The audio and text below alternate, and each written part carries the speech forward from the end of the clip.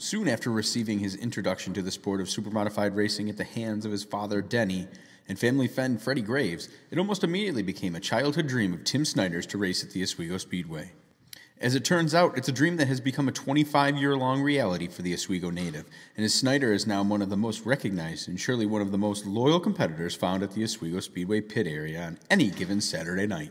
Snyder got his start at the Speedway in 1993 with his familiar number zero, and either Snyder or at the very least one of his cars have been back at the track each and every season since.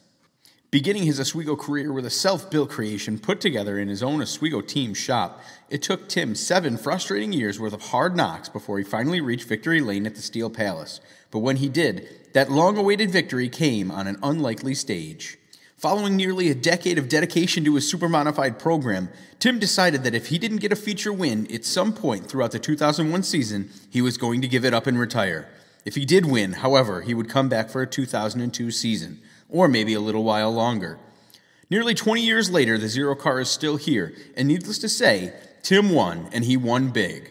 After inheriting the lead from a fuel starved Mike Ordway, Snyder traded paint with Greg Furlong with five laps remaining, securing the lead and the biggest win of his career at Oswego, a checkered flag in the 2001 Budweiser International Classic 200.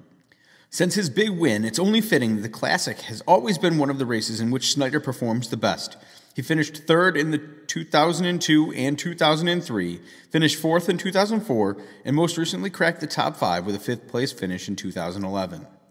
Right now, Snyder sits third to only Joe Gosek and Hal LaTulip in holding the streak for the longest active driver, and after all these years, is still backed by longtime sponsors Oswego Quality Carpet and Raby's Ace Home Center, and of course his biggest supporter, his father Denny, who joins him in the Hall of Fame this evening.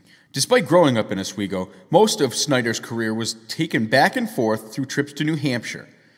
Finally, in the summer of 2018, Snyder's decided to move back to Oswego and make Oswego his home yet once again. Join us tonight in welcoming Tim home, and congratulations to the 2018 Oswego Speedway Hall of Fame inductee, the Zero Hero, Tim Snyder.